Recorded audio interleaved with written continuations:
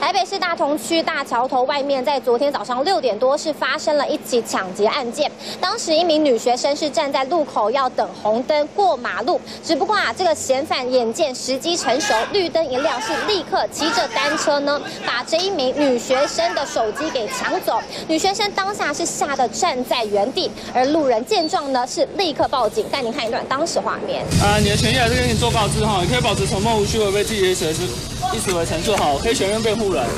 可以请求调查有依据证据哈。而根据警方调查，这一名游姓嫌犯他家住在新北市三重，他当时呢是骑乘脚踏车过了台北桥后，来到了大同区这一边，锁定了这一名女学生，她是啊边划手机边走路，也因此呢他锁定好目标后，眼见啊这个绿灯一亮，是立刻是把他的手机给抢走，所幸呢在辖区警方的拦截围捕下，把他这个嫌犯呐。压制逮捕。而根据了解，这名嫌犯有多项的前科，甚至在案发前一天才因为通气被抓到。这回呀，也依伤害罪嫌、窃盗罪嫌依法送办。